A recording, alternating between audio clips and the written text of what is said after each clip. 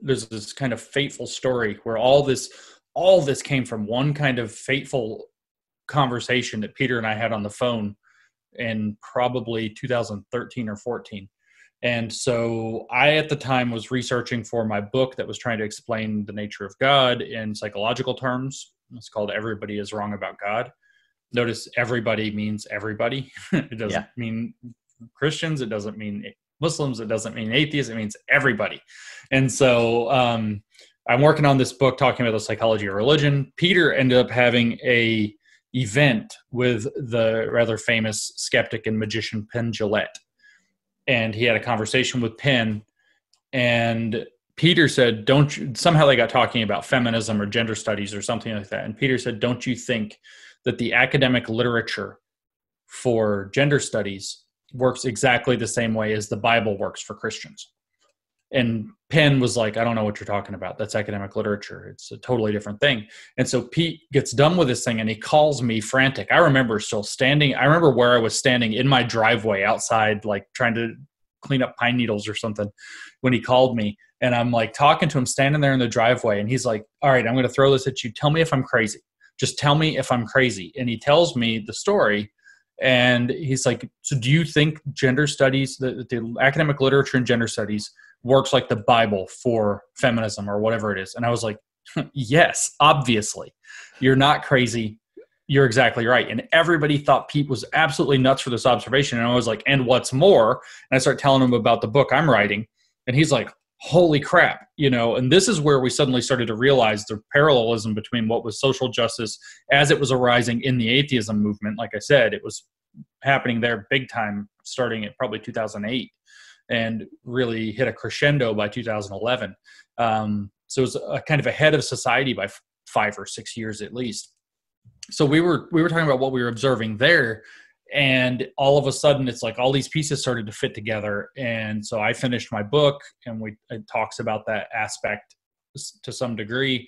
And then Peter and I ended up started trying to figure out well is gender studies a religion and we decided that uh, kind of in the long tradition of, of hoaxes on theology journals where people just publish ridiculous theological claims and they're like oh yeah well okay uh, that maybe and then of course following after alan Sokal, we figured because it's clearly like these jargony words they can't possibly know what they're talking about like why don't we hoax them why don't we you can't beat a religious canon by arguing against it. It's not yeah, possible. Exactly. The whole point is that it's intratextually sealed. You cannot argue against scripture and defeat it. So what can you do? You have to expose that it's scripture. So that was actually the deep motivation behind doing the academic papers that came to be called the grievance studies affair in in the first place. I love how dramatically all of it unfolded. I, will definitely um, link to Mike Nayna's videos on that because it's it's cool just watching the process from like the idea hitting you to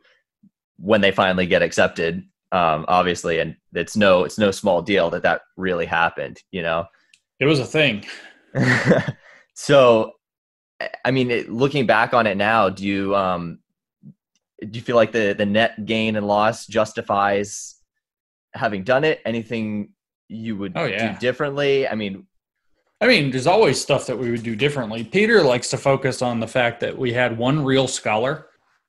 Um, and that person basically was invincible because you know you publish this crazy paper and then somebody maybe gets suspicious of it and then all it takes is a google search and then oh well he's a real professor somewhere and so somebody you know people did they sent him emails asking him what the heck what's happened to you are you crazy have you lost your mind but we told him you know, his friend of ours. So we were like, don't answer any of the emails. He's like, I'm not getting involved.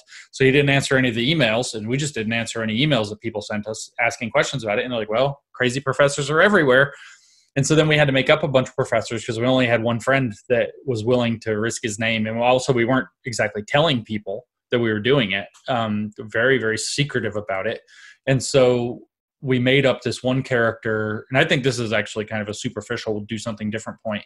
We made up this one character, um, Helen Wilson, who wrote the dog park paper, the dog humping paper, and uh, we gave her a PhD in feminist studies, and those basically don't exist. And so it was very easy for journalists who got suspicious to figure out that something was probably fishy happening there. Had we given her a PhD in gender studies, we probably would have had several more months to have been able to continue perpetrating our investigation. Uh, so you know, there's that. I think um, if we had some stuff to do differently, I think we would have probably been much more clear about the way that academic hoaxing didn't succeed. I don't think that, that message got across. Everybody just assumed it was a hoax, and I can understand why. Uh, but what we did was something significantly different, and it doesn't seem to have been successfully communicated. Maybe the video of us laughing our asses off when reading through the paper and the comments and things like that. You know, it's all really funny, so it's hard not to. But uh, maybe that gave the wrong impression that it was all just some kind of a joke. Because people and think a joke implies just a joke, but it's obviously right. so much more yeah, there was a lot more going on there. Um, and in fact, what we did, and nobody really appreciates it, is you know we started off with the hypothesis that they would accept hoaxes, and we, we started that was in August, and by November, that was in 2017, we decided that hoaxes aren't possible. I kept a diary while we were doing it, and I went back and read the diary a couple months ago, and it's just astonishing the part through late November to the middle or end of December where I'm personally grappling with the fact that hoaxes didn't work and we have to do something different and people won't understand it uh, because it's not hoaxes. And we have to admit that we were wrong that hoaxes would work because hoaxes won't work. And it's like eventually I'm just gonna have to publish my diary I think. But uh, it's like 40,000 words so I don't know if anybody really wants to read that much crap. Why not? Um, so and some of it's some of it's like it's not bad. It's not like oh i'd be embarrassed to have it out there. It's just like inside baseball that's not really interesting.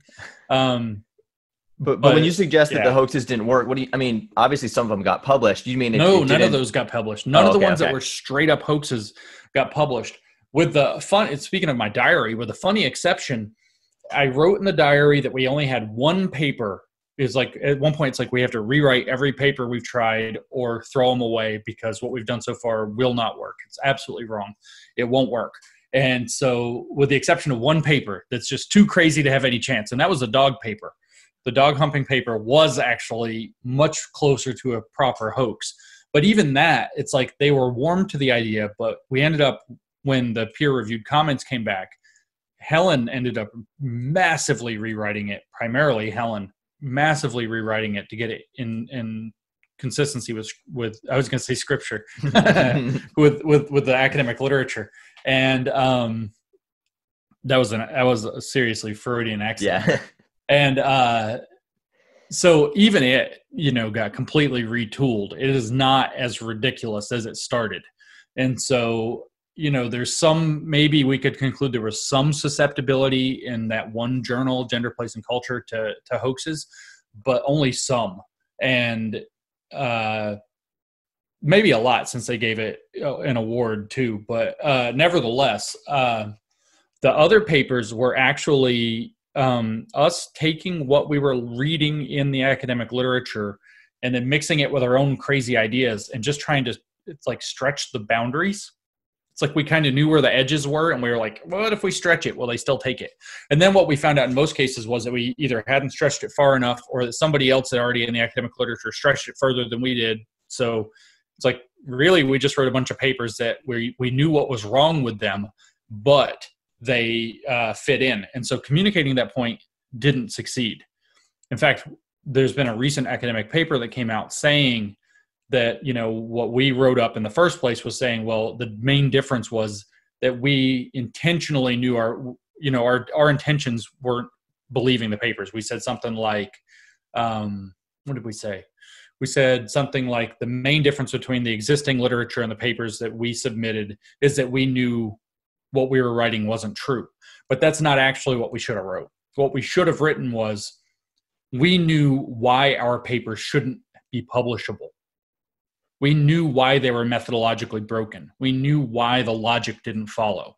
We knew why somebody who was who was capable of doing a rigorous analysis would not have accepted that paper as rigorous analysis.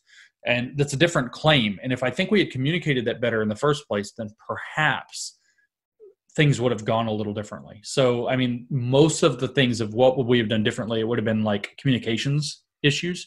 There's a couple of the papers that I wish we hadn't bothered trying to screw around with.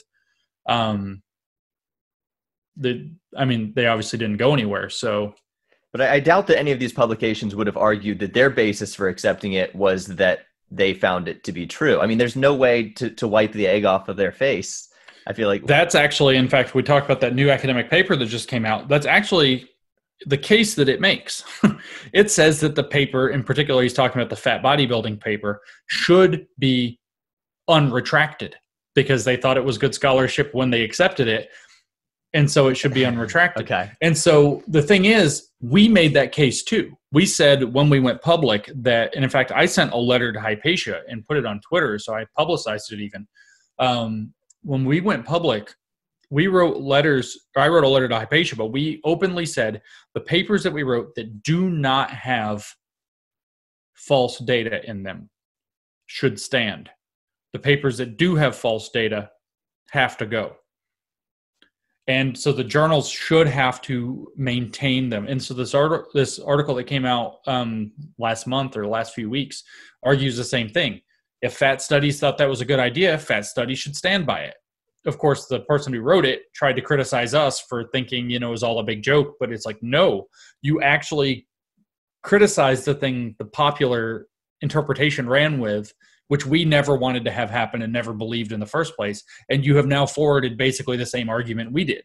And so, you know, we've been invited to write a response. So hopefully, you know, we can do that and, and it'll get published and we'll see what happens from that. Okay. But if I, you know, no, they're they're not wiping any egg off of their faces. In fact, what they're trying to do is put their head in the sand, sand and pretend it didn't happen for the most part. Yeah.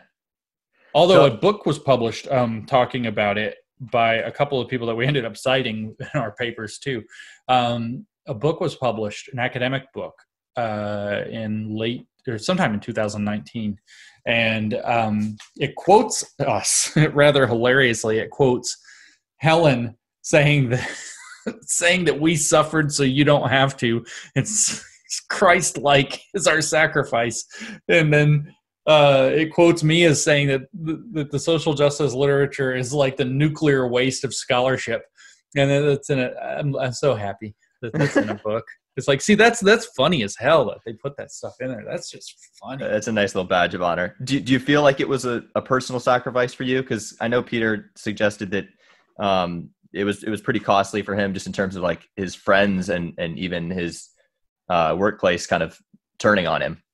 Yeah, my workplace didn't wasn't relevant, but um, my friends, I, I exacted a rather heavy toll there. I lost most of my left leaning friends, including family members that are have pretty contentious relationships with now. Pretty, if they are on the left, they pretty much kind of are like, uh, yeah, what you lost your mind and then um, it was an enormous amount of time to do that. I mean it was an it's like it kind of redirected the entire course of my life. And it's kind of impossible to say that it's it's in a direction that's making me happy. It's like i don't want to read social justice all day every day. I yeah. i don't. I don't enjoy it. I don't find it thrilling um, I don't make any money really doing it, so it's like it hasn't been like net positive in in those regards. But at the end of the day, it's like I still think it needed to be that or something of similar impact or more impact needed to be done. So I'm glad I did it. But the cost has been real. Yeah, it's I'm watching all these people describe what it's like to suffer in the pandemic, and I'm like, that was my everyday for like the last two and a half years. It's like I never go out with my friends ever. I'm not even sure I have any around here anymore. Wow. And it's so it's like the costs have been kind of real. And you know, it's not the you know, I don't think I'm crazy, but I the but the the mental cost of reading this like cynical, pessimistic, nasty, race baiting, just awful stuff every day. It's not net good for one's well being.